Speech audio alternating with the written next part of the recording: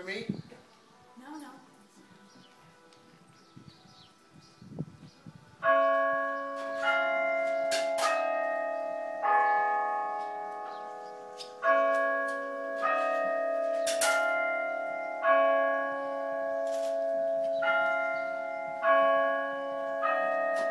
you